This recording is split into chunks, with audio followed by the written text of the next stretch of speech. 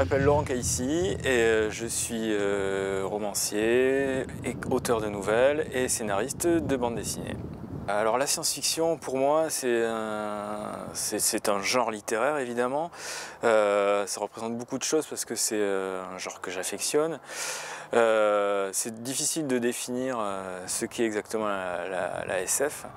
ça va du, plus basique de l'histoire de, vaisseaux spatiaux avec des robots jusqu'à des, romans très, très littéraires, sociétaux euh, des histoires du futur, de vastes fresques. Enfin, ça rassemble tout un, pan de, la littérature euh, de l'imaginaire, comme on dit. Euh, et, j'affectionne beaucoup, beaucoup de, d'auteurs de, SF. C'est un genre qui, me plaît beaucoup. la science-fiction, alors ça peut être, peut définir comme tout ce qui se publie sous l'étiquette euh, science-fiction, mais euh, les genres sont un peu brouillés en ce moment, donc euh, il y a beaucoup de SF qui se publient aussi à côté dans des, dans des collections plus généralistes. Donc c'est un peu compliqué de dire aujourd'hui qu'est-ce qui est de la SF, qu'est-ce qui en est pas. voilà, j'en écris un petit peu. J'ai l'impression de savoir quand j'en écris moi, je ne sais pas forcément si ça en est quand j'en lis, il y, a des textes pour lesquels oui, je sais que c'est de la science-fiction. Euh, d'autres, euh, pas forcément. les frontières se brouillent et c'est assez intéressant. Alors les films de science-fiction, moi j'ai commencé euh, un peu comme tout le monde avec Star Wars. Je, ne sais pas si j'ai vraiment vu des films de SF avant. Je, sais pas. C'est le retour du Jedi moi que j'ai vu en premier. mais voilà, E.T. aussi peut-être qui est de la SF. Et puis après, je sais pas, il y a des des pierres blanches, il y, a, sans doute Blade Runner. Qui a... je, suis, assez fan de Cyberpunk, de William Gibson et de, ses auteurs. Et Blade Runner est à part entière, c'est apparu en même temps que toute cette vague cyberpunk en littérature. Et c'est aussi une adaptation de Philippe Dick, qui est un de mes auteurs favoris. Donc voilà, Blade Runner, c'est quand même un film assez marquant. 2001 évidemment. Euh, mais j'ai des goûts assez, assez pas pointu, c'est prétentieux, mais précis en matière de SF. J'aime pas forcément les gros blockbusters euh, qu'on nous sert euh, ces temps-ci. Il y, a plusieurs livres. Il y a, par exemple New York de Stephen Wool, qui est le livre que j'ai découvert à dos et qui m'a m'a fait comprendre que j'aimais ce genre, sans vraiment savoir que c'était un genre et sans vraiment savoir, voilà. J'avais lu des Jules Verne avant, mais c'était quand même le bouquin de SF moderne français qui me, voilà, qui me parlait. Euh, et puis il y a eu un autre livre très important, c'est Ubik de Philippe Cadic, qui est le livre qui m'a vraiment, pour le coup, retourné la tête et j'étais un peu plus âgé, j'étais ado. Donc ce livre est marquant, je l'ai relu plusieurs fois, euh, il m'arrive de le relire encore, euh, parce qu'il a changé ma vie en quelque sorte.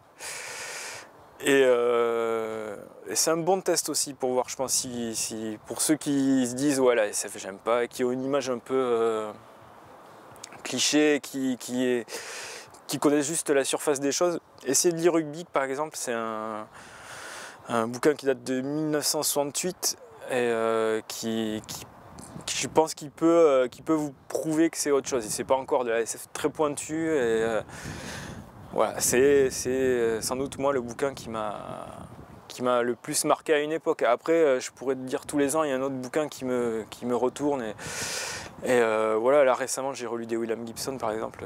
C'était fabuleux. ça, voilà, ça change, ça peut changer. Mais celui-là, historiquement, et pour moi, voilà, il a, il a, c'est aussi un livre qui a une très grande influence sur toute une vague d'auteurs français dans les années 70 jusqu'aux années 80. Et, l'auteur est ce livre-là. Donc voilà, pour ceux qui n'aiment pas la SF, Ubik peut être un bon choix.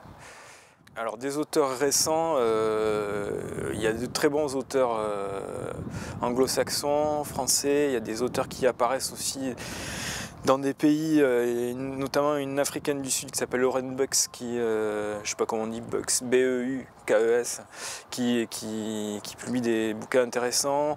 Euh, il y a aussi un auteur américain qui a gagné un prix Hugo il y a deux ans, je pense, qui s'appelle Paolo Bassigalupi, qui a publié des nouvelles formidables. Qui vient de sortir un super bouquin aussi qui s'appelle La fille automate. Il y a, un renouveau euh, et des thématiques, parce que là aussi les thématiques évoluent, et, il y a des auteurs un peu plus jeunes qui apparaissent. En France, il y a alors il y a des auteurs qui sont apparus peut-être plus dans les années 2000 qui continuent à publier euh, des choses très intéressantes. Un de mes auteurs préférés français euh, s'appelle David Calvo par exemple, il ne publie pas de la SF euh, classique, enfin c'est même, pas de la science-fiction, mais c'est des textes inclassables qui ont parfois été publiés sous l'étiquette fantasy.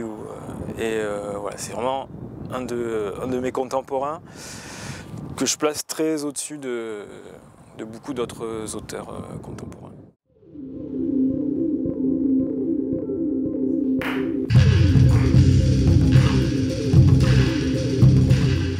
Je suis Sébastien Parisot, le président des Artistes Fous Associés, une, association multiculturelle basée à Bègle, axée sur la science-fiction, le fantastique.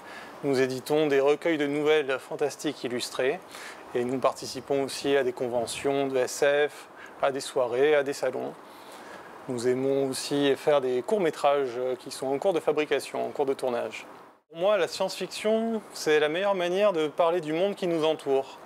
On peut avoir l'impression que ça parle d'univers lointains, à d'autres époques que la nôtre, avec euh, des personnages qui ne sont pas des humains, et en fait ça parle de ce qu'il y a de plus intime, euh, au plus profond de nous, des métaphores euh, de la vraie vie d'un homme sur Terre.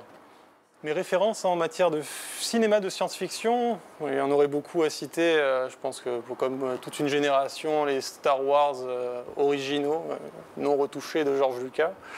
Peut-être aussi les films de, certains films de Verhoeven et de Cronenberg.